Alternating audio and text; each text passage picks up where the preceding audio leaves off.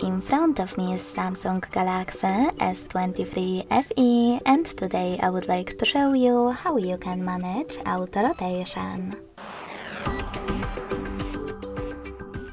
You need to begin by going into app menu and looking for Portrait, Auto Rotate or Landscape shortcut. As you can see, Portrait is over here. So when I click, it's white and it says Auto Rotate. That means that auto rotation is now enabled.